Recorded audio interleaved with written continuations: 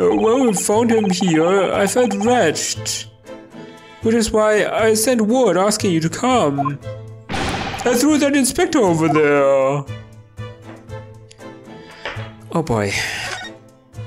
Gregson, do you have anything to say? So, Inspector, what was the victim's name? Who was he? Mr. Mr. Uh, William Shakespeare. Shakespeare? He was a lodger here. Okay. As you can probably tell, he was an actor, a bit of a dead loss as it happens, or just dead. This is no time to make jokes. Mr. Shakespeare. It was the landlord, old Mr. Garrideb, and the other lodger, Mr. Natsume, who found him. The fellow didn't rise at his usual hour, so Garrideb got worried and kicked out, kicked the door down. But doesn't Mr. Garrideb have a bad leg? Oh yeah, you're right about there. Uh, you're right there. It was that jittery Japanese hunchback over there who actually did the kicking. Really? Soseki-san? Wait, this is not Soseki's apartment, right? This is... This is the apartment of Shakespeare. Ah, I see. That much... This makes much more sense. Yeah. Because Soseki's apartment doesn't look like this either. yeah, okay. Um, so... So he's not being implicated, is he? Yeah, the victim was pretty hard up, it seems. Even done some time inside for petty crimes. Oh. He had no money, no place to go, and no friends. His only acquaintances were the people in this house. Miserable life and a miserable end to it. So, what exactly is Mr. Natsume still, still doing here? He's not involved in the investigation, so shouldn't you have sent him away? Oh, well, I'm not saying it's because the fella looks odd or anything, or that he acts suspicious, but I thought it would be prudent to take a statement from the culprit, I mean, cohabiter. Gregson. You nearly said culprit there, didn't you? Oh dear. Mr. Natsume appears to be under suspicion again. It certainly seems that way. He does just come across as such an odd fellow, doesn't he? Poor man, how unfortunate. Uh, anyway, I can't say much until the coroner gets here. But I don't think the fella's been a goner that long, the body's still warm. Even if the inspector would allow it, I don't think I could bring myself to touch a dead body. Oh boy! I mean, he was odd, but I mean, he seemed nice, I guess. He looked like a walking meme. you know the smiley meme? Yeah, his face was just like that. Uh, Sholmes, what what are you doing? what are you doing, Sholmes? Um, Mr. Sholmes, what are you doing? you need only observe to know it, my dear fellow, investigating, naturally.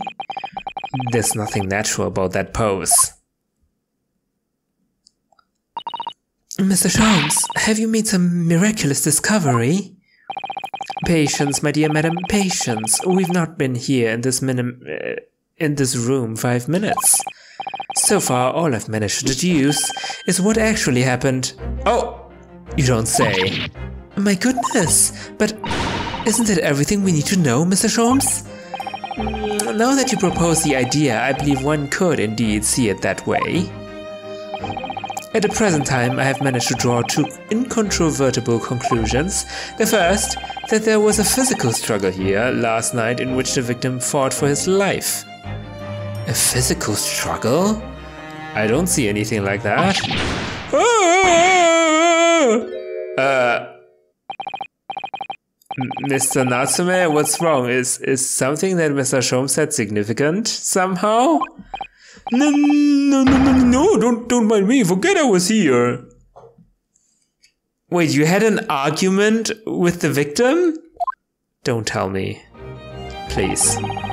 And my second conclusion is that There was a poison lingering in the air here last night that passed the victim's lips. No, no, no, no, no, nonsense! Ah. Uh, alright, Mr. Natsume. Why are you re reacting so extremely to Mr. Sholmes' deductions? No, no, no, no, please, I pretend I'm not here. Invisible, ineffable, inscrutable, insignificant. Impossible to ignore.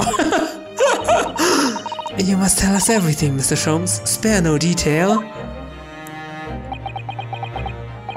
But of course, let the theatrical tragedy before us be unraveled by my great deductions, presented for your pleasure in two acts. We've heard some truly astounding great deductions from Mr. Sholmes in the past. No doubt this will be no exception. What miracles will unfold before our eyes this time? So, my dear fellows, for your delight and wonder, let the curtain rise for Herlock Sholmes' Logic and Reasoning Spectacular, Act 1. Oh no, we haven't even finished investigating ourselves.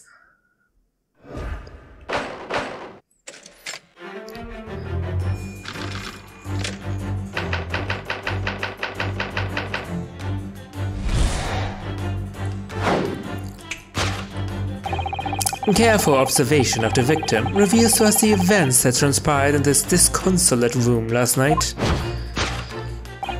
Foam at the mouth of the deceased clearly indicates the use of poison. And what is that on the plate? Like a piece of cheese? what? No, butter.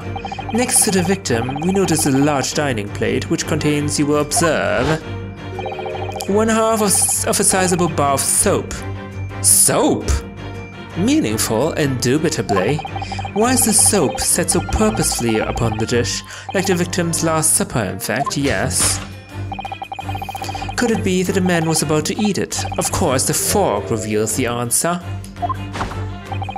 It appears that a young man's appetite was his undoing. Taking up arms in the form of his cutlery, the victim engaged in a deadly battle for his life. Yet the struggle against his hunger was in vain, for in the end he couldn't resist devouring the slippery feast. But London's foul soap is besmirched by foul poison. Yes, the victim's life was claimed by poison that tainted the contents of the plate. The soap and the leather about the young man's mouth are too perfectly matched to ignore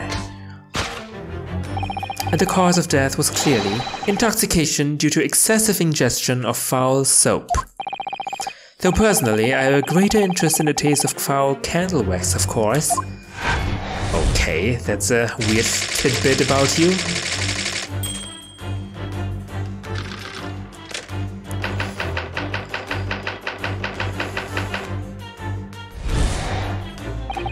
The cause of death identified, we proceed to Act 2, where we ponder the next question.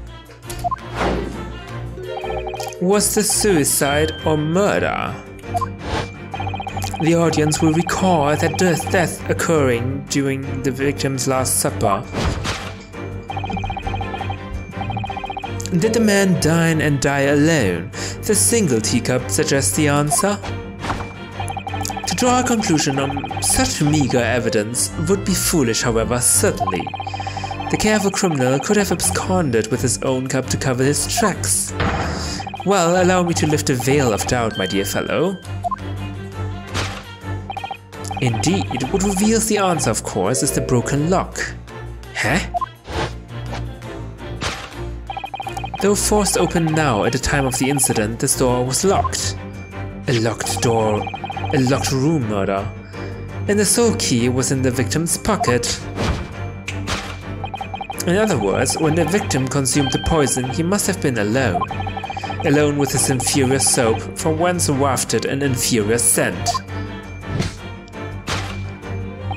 And with that acrid aroma lingering in the air, the victim met his end in tragic solitude. We can take comfort only in the fact that his soul was well cleansed on its way to the hereafter.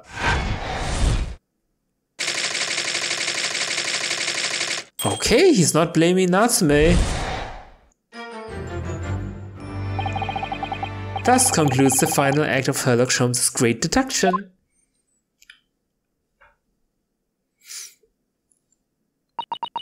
Susato-san. I love her. How she just calmly corrects Sholmes. There's just one thing, Mr. Sholmes. Oh, this time it's me. You're disposed to identifying just one thing, aren't you, Mr. Naruhodo? Pray, what concerns you? Well, no matter how hungry he was, do you really think the man would have eaten soap? It is quite apparent that this man has barely a penny to his name. It is a curious thing, but to one so destitute, soap can suddenly appear quite irresistibly appetizing. Oh, up until now, we've heard a lot of tidbits, a lot of dialogue where we referred to things that will happen when one is hungry. How extraordinary. In truth, I have tried a little soap myself in the past. what? You've eaten it, you mean? My dear fellow, it was some time ago now. My postulation was that it would cleanse my gut. Yeah, that's bad. And did it? As I writhed in agony on the floor and spilled the contents of my stomach, yes, I believe it did. The experience taught me a valuable lesson. Soap is quite poisonous. It has an unpleasant taste and leads to great discomfort. In summary, I cannot recommend it. Believe me, I wouldn't eat it, even if you did. And there's something that troubles me as well, actually. Oh, what's that? It's Mr. Natsume. Ah! I couldn't help noticing him shuddering and quivering out of the corner of my eye. I mean, He's twitching and quivering all the time, isn't he? Almost as if Mr. Sholmes' deduction touched the nerve somehow. No, no, no, no, no, no, no, nonsense! Well, that lunch teeth episode didn't last. I think, judging by Mr. Natsume's reaction, the great Detective's deductions may need some gentle corrections in order to reach the actual truth. Yes, Mr. Sholmes' observations and deductions are sometimes a little too sharp. He has a tendency to hit the nail on the side of the head and drive it in at an obtuse angle. When he does that, it falls to us to straighten things out. Alright then, let's see what we can do. Yes, we must pick out the key words in Mr. Sholmes' quite brilliant deductions and discreetly exchange them for something that makes a little more sense. If we can do that, I'm sure we'll arrive at what Mr. Sholmes meant to say in the first place. I don't think. I don't think whatever we come up with is what Mr. Sholmes. Um, what, what he was meant to say. In that case, are you ready for the second performance of the day? Once again, my dear fellows, for your continued delight and wonder, let the curtain rise for Herlock Sholmes's Logic and Reasoning Spectacular, Act 1.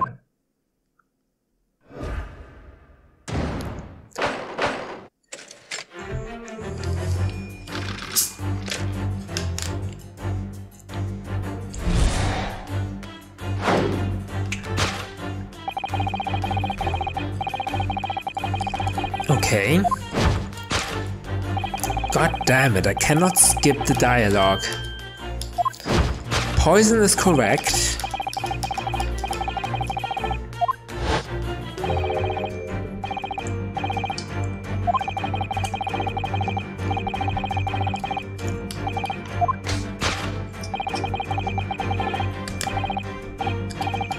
The fork is not correct.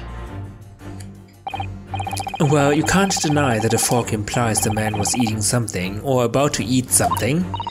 Yes, that's true. If I were to decide to eat some soap, I should prefer to use a fork than to attempt it with chopsticks. And of course, only half of the bar of soap is left on the plate. But might there not be some other explanation? Something material that proves whether or not the man really ate the soap.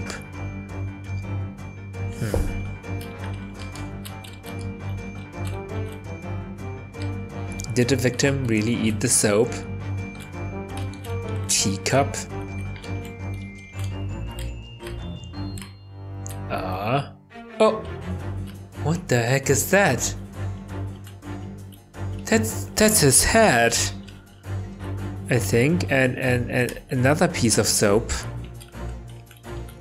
It seems like... Oh, it's the other part of this soap. Holy crap, this soap is huge.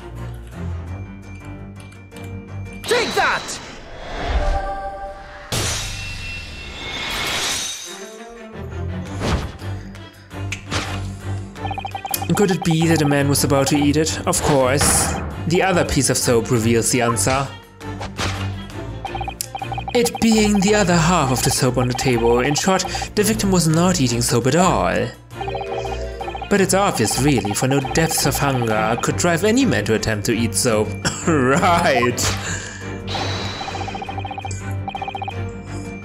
Even I, with my unquenchable thirst for practical knowledge, took only a single bite. But that begs the question of how the man was poisoned, because there's no sign of any food on the table. An excellent observation, Mr. Naruhodo, and one that furnishes us with the answer we seek. For London's foul soap is besmirched by foul poison. What? Yes, the victim's life was claimed by poison that tainted the contents of this plate. No, we just established Mr. Sholmes is still pushing the soap argument then. Perhaps he's suggesting the man licked the soap rather than ate it? If soap in London is that poisonous, I don't think I want to be washing my hands with it. But there are no signs of any food in this room at all. Of course, food isn't the only thing that passes people's lips, is it? Yeah, you could have drank something from the cup Oh, what is that? Nothing.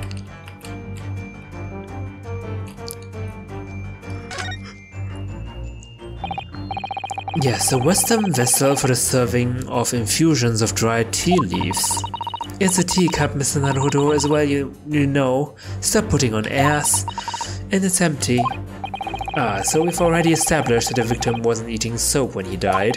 However, there's significant evidence to suggest that he was drinking tea. My thoughts exactly. Take that!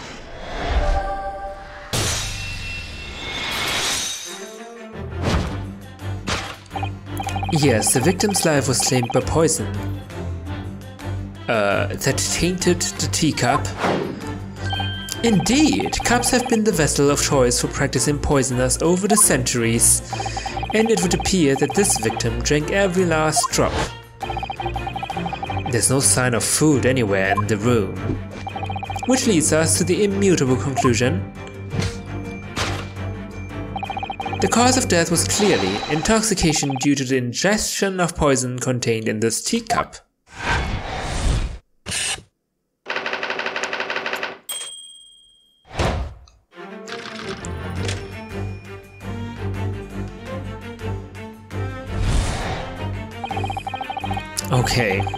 That was the easy part, and now the second part.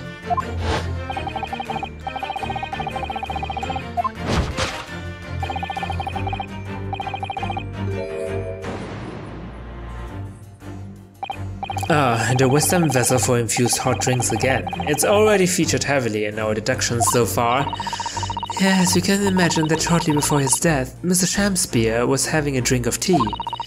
There would be nothing remarkable about that, but what troubles me is Mr. Natsume's reaction when we when he heard Mr. Sholmes suggested. There's more to this deduction than it seems. We must closely examine the scene of the crime again for some more clues.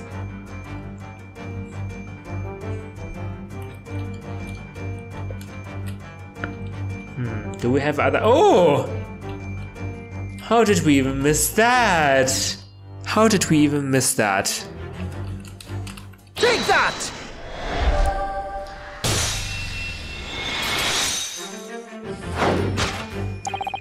Did a man dine and die alone? Does other teacups suggest the answer.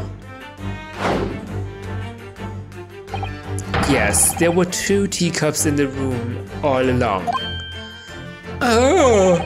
In other words, this is a strong indication that at the victim's last supper, there was a guest present. At the very least, we can say now with certainty that somebody else was here in this room last night, taking tea with the t- victim. What are you talking about? Utterly, unbelievably, unjustly unreasonable.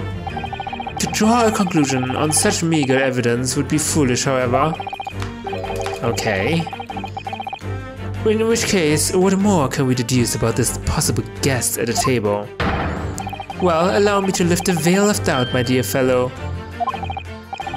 Do you mean to say you know who exactly was in this room at the time of the victim's death? Indeed. What reveals the answer, of course, is the broken lock. Well, that's not true anymore. I'm not sure I like where this deduction is going now. I'm afraid it's too late to go back to the Halcyon days of eating too much soap. But the identity of the guest who was in here last night when the victim passed away is.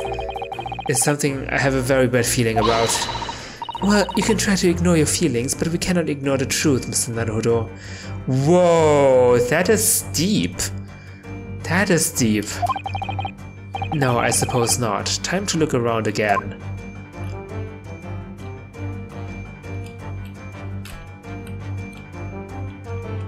Oh my god, these are the books that Natsume borrowed, bought from the bookshop, isn't it?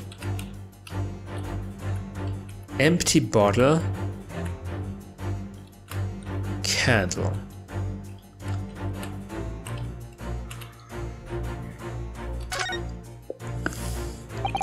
At first glance, it seems that the only things in this room are the makeshift stage and the costumes. I overlooked these three books initially. I wonder what they are. Let's see. The titles read The Picture of Monsieur Lecoq, Canterbury Yearnings, and Emile for Gaboriau. Oh god, these are the exact titles of the book that Mr. Natsume bought. Wait, I'm sure I've heard those titles before. It could just be an incredible coincidence, but they're the exact same three books that Mr. Natsume purchased the other day. What? Yes, on the day of the unfortunate incident when Miss Green was stabbed. Soseki-san had just been to a bookshop and bought them, that's right. And now those three titles are here in the room of the victim. Yet Mr. Natsume claims never to have been here before. What what does this mean, do you think? It means he lied. I I really don't know what to make of it.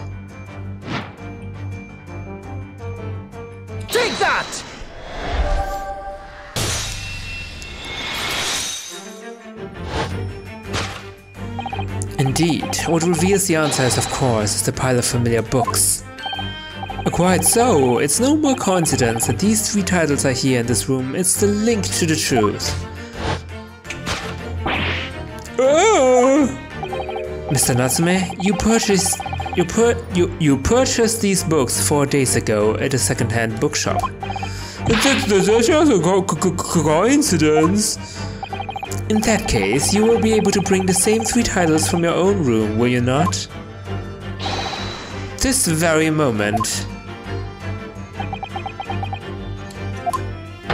No, never, non-negotiable.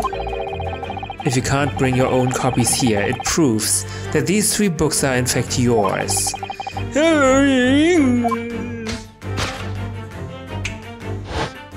what was that? Having purchased the books four days ago and returned to your lodgings, you were arrested the very next day. So you could conceivably have bought the books here, brought the books here on that evening, but you never mentioned that.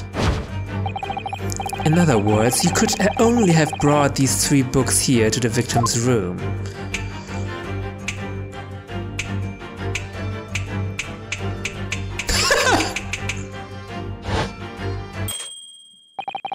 Last night, having returned to your lodgings after the trial concluded at the Old Bailey.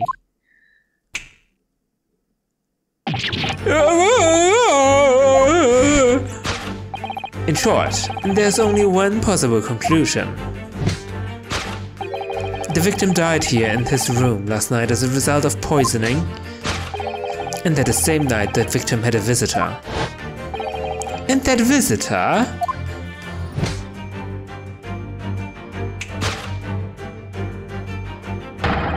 was you, Mr. Soseki Natsume. Thus concludes the final act of Herlock Sholmes's great deduction.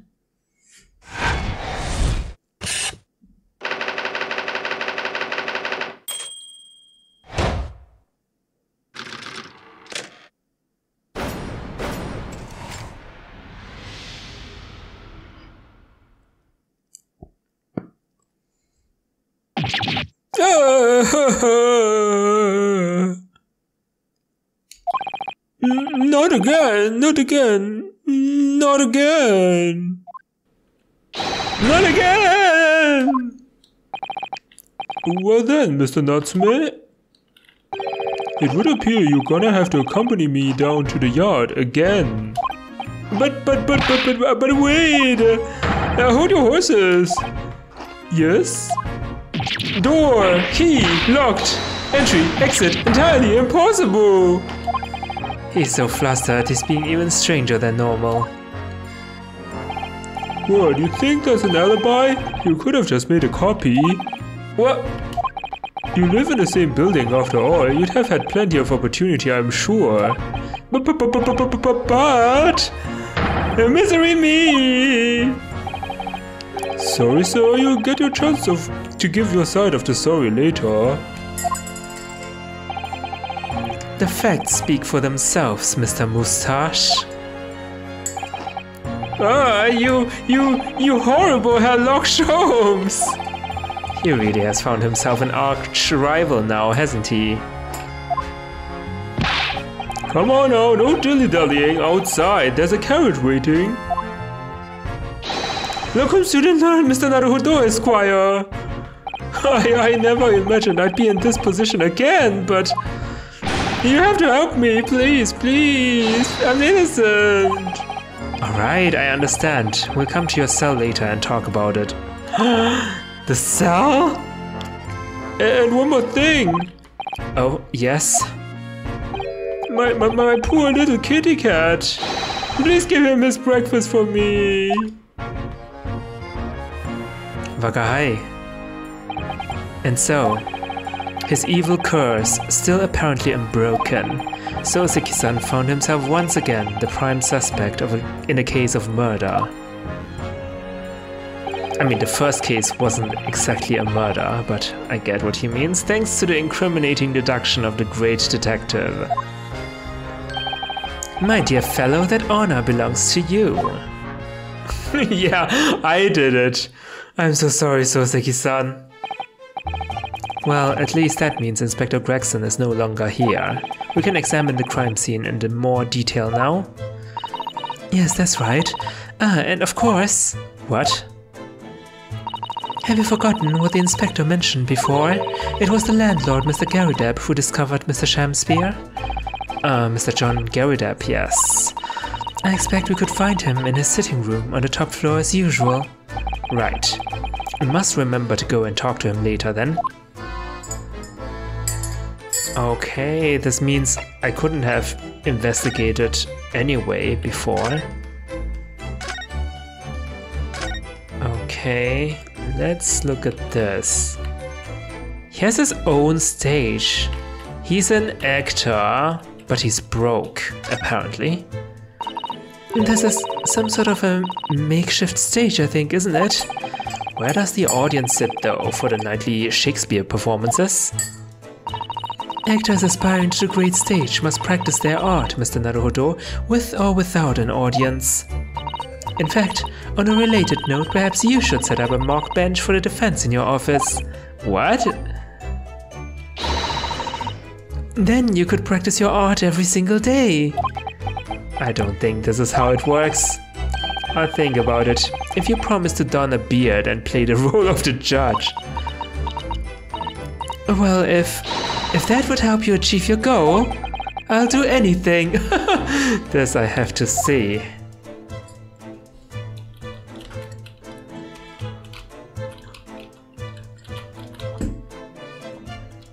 This is the gas meter for the for the lamps, right? And here we have another disproportionately large machine. This looks like a meter of some kind. Ah, this is a gas meter, I think. It seems that in this district, residents pay for gas as they use it with coins. Ah, I see. Yes, now you've pointed it out. I can see that there's a slot just here that looks like it. Uh, that looks like it would take a coin. So you mean if you put a coin he in here? That's right, that would buy you about two hours of gas for lights and heating. So, if you were a poor person with no money, you'd have to sleep in the freezing cold?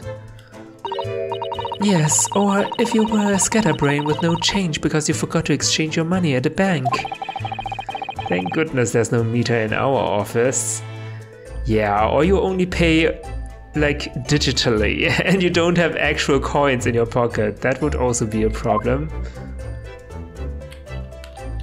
Uh, unfortunately, in Germany nowadays, there are still some places you need coins for. This is a gas wall light, isn't it? It must be connected to a gas pipe in the wall. Gas lights, a gas stove. London really is a city of gas. But now that I think about it, Mr. and Mrs. Garrideb had an open fire on the top floor, didn't they? Oh yes, you're right. I don't recall seeing a gas stove up there. Well, I much prefer a real fire anyway, it's so much cozier. But oh so dangerous. This is also a windowless apartment. As we've seen from the outside, the window is completely bricked up. A vestige of the former window tax that Britons had to pay. What strange things they used to tax in Great Britain. I mean, making people pay for the number of windows they had in a property is extraordinary. It's heartbreaking to think of the poor having to block up their windows just to avoid an unaffordable tax.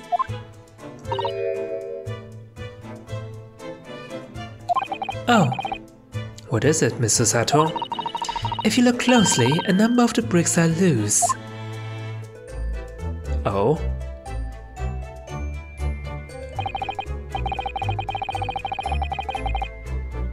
Oh yes, it looks as though an amateur has broken out a few of them just here. And and what are those inside? Soap? Was it Mr. Shamspeare who did it? I wonder, being the lodger renting this room. Ah, look at this, Mr. Naruhodo. On the outside there's a little ledge. And there's something on it. What outside?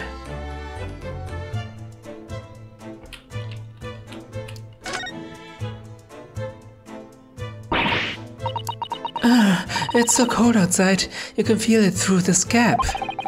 It did snow all last night, it would be cold. But more importantly, what is it on a ledge out there? What are those snow covered lumps? It's more bars of soap. Soap? What are bars of soap doing lined up on a ledge outside the window? I. I have no idea, but a pair of them look rather charming like that. Still, that's very strange, isn't it? Bars of soap lined up outside the window. I think perhaps we should take one. There are two after all. Why? Oh dear, I I suppose we could. Oh, what's this? Look at look here at this soap. Ah. Do you see in the middle there? There's a patch that's a different color. It's it's sort of transparent, but some sort of fancy design, I suppose, only in Great Britain. It looks like the Hinomaru flag of Japan, doesn't it? How wonderful. Hinomaru? You mean the, the national flag of Japan, which is like a one red circle? Hold on. Yes.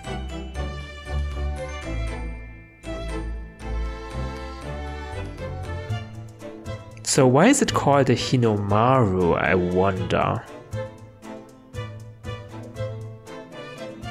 Oh, Hinomaru means ball of the sun. Interesting.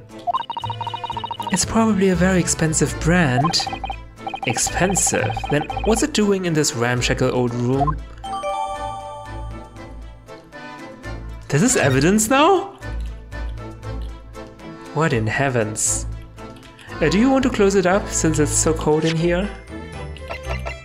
A cheap bar of soap that was discovered just outside Mr. Shamspeare's window. One of the two. We we just took one, didn't we? What the heck?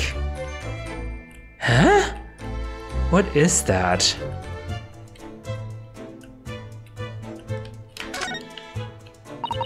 This part is a different color. It's an exquisite design, isn't it? Trust the British to turn a boring bar of soap into something special. Is this really just some kind of design? Or something else? I quite like it. It reminds me of the Hinomaru design of the Japanese flag. I expect this is rather expensive soap. That doesn't seem likely given who it belongs to. He was broke after all, right? Wait, are there any other types of Japanese flags? Flag of Japan? I wonder because Susato keeps mentioning the Hinomaru type. Oops. Sorry about that.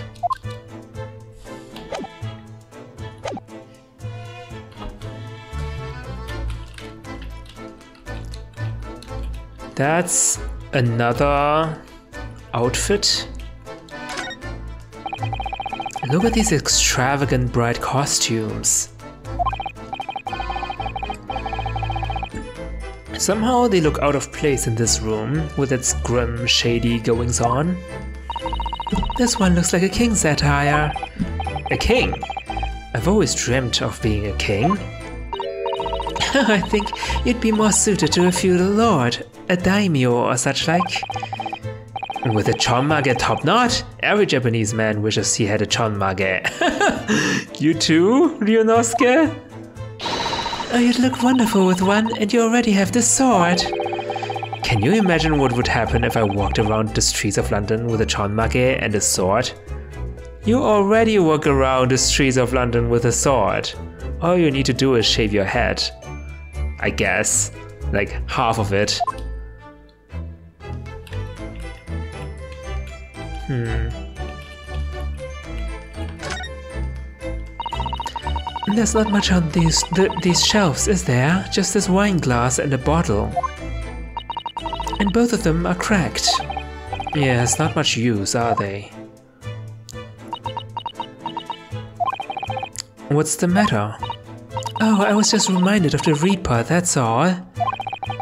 Prosecutor Lord Van Zieks? Yes, he's so reckless with his wine glasses. I was thinking it's a waste and he should donate some to the needy. Exactly, it's such a waste and a poor wine too. You can suggest it next time we meet.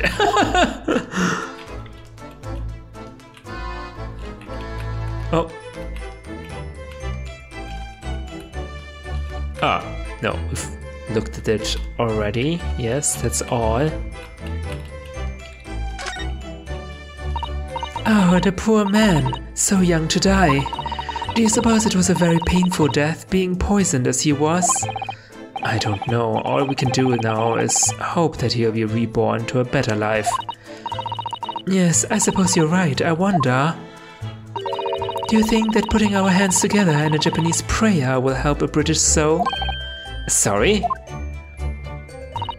I made sure I had a reference at ready for just such an occasion as this, actually. I don't think they care for our Japanese prayers. This book is entitled The Beginner's Guide to Praying for the Departed, the British Way. Oh, the British Way. I just reread. I, I'll just reread it now. One moment.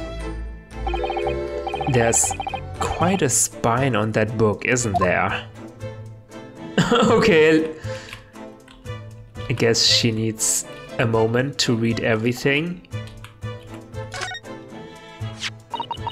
What's this? It looks like part of an envelope, I think. Yes, I think you may be right. Perhaps it was torn off when the letter was opened. Is that significant? Well, it's a little out of place, perhaps, when you look around the room. There's no sign of a letter or the rest of the envelope, in fact, is there? Ah, she's right. And yet, here we have the torn off end of an envelope. It just strikes me as unusual. I agree, we'd better take this just in case. this is also an evidence. Okay. Shall we look at it right now?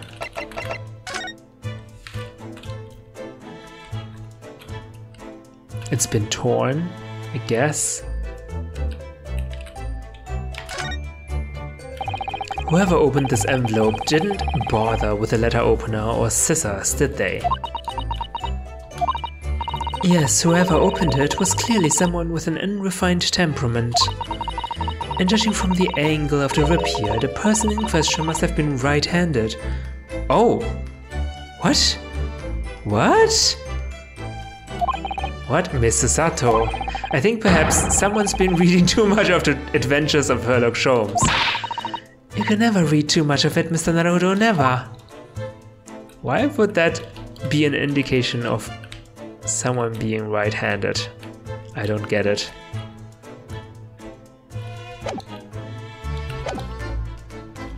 Susato-san, you need to separate fiction from fact. Do you remember when she said that um, what did she say about about uh, the knight armor in Lord Stronghart's office.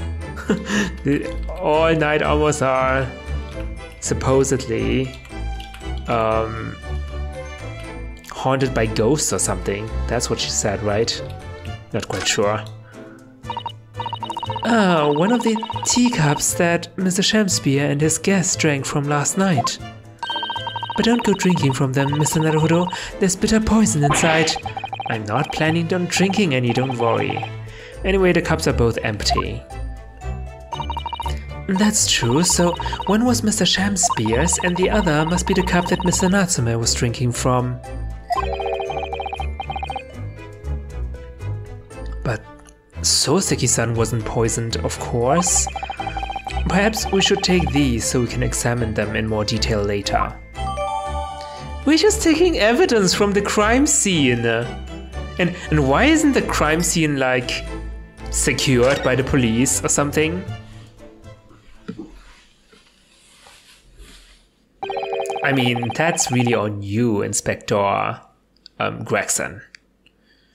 It looks like you're having a good snoop around, eh? Talking about the devil. Uh, Inspector Gregson, back so soon?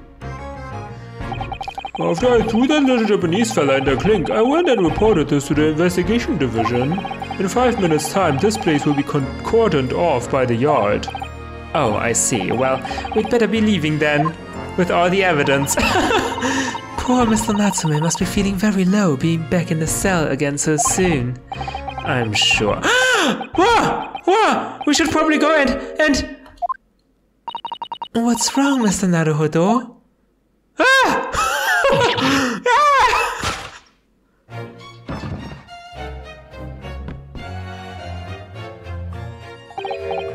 Out, out, brief candle, life's but a walking shadow, a poor player. What is happening? That struts and frets this hour upon the stage and then is heard no more. Now, how soundeth the next part? It is a tale told by an idiot full of sound and fury signifying nothing. Indeed, oh happy day! What, what, what, what, Walking Dead? Wait, is he dead or not? I, am I'm, I'm so confused. The the the fella isn't dead at all.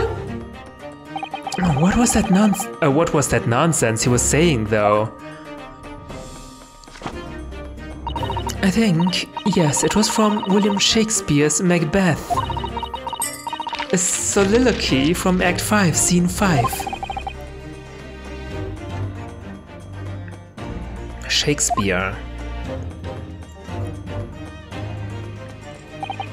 So it was that the victim, Mr. William Shakespeare, came back to life. If the man had indeed been poisoned, it transpired that it hadn't killed him. What? Oh, if he was poisoned, then the poison didn't kill him, yes. He was taken by emergency carriage to a nearby hospital for treatment, and Inspector Gregson evicted us from the scene of the crime, whatever that now was.